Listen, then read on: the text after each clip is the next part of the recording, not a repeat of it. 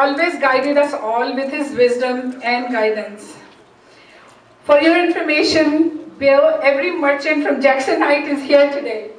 Thanks to Bobby.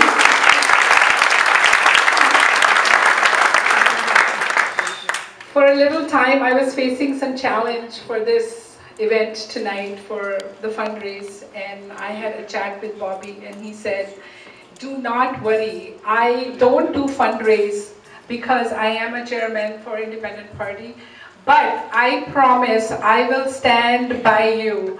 And you will not fail. Nobody can fail you. So I want to thank you, Bobby. Thank you.